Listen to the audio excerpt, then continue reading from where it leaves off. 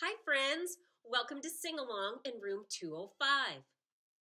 Let's sing Three Green and Speckled Frogs. But first, let's make sure we have three frogs. Help me count. One, two, three. Three frogs, and they're all green.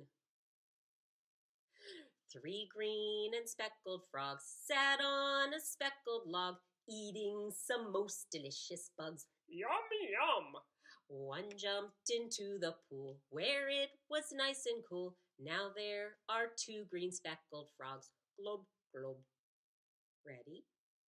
One, two.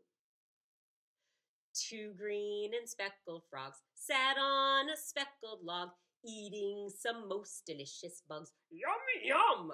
One jumped into the pool where it was nice and cool. Now there's just one green speckled frog. Globe, globe. How many? Just one. One green and speckled frog sat on a speckled log, eating some most delicious bugs. Yummy yum! She jumped into the pool where it was nice and cool. Now there are no green speckled frogs, no glubs. What should we do? Let's put them back on the log. Great idea. Here we go. Hop, hop, hop, hop. Rabbit. One. Hop, hop, hop, hop. Rabbit. Two. Hop, hop, hop, hop. Rabbit. Three.